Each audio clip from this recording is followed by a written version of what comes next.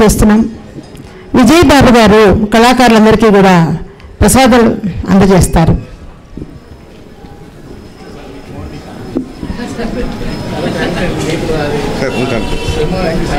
Thank you.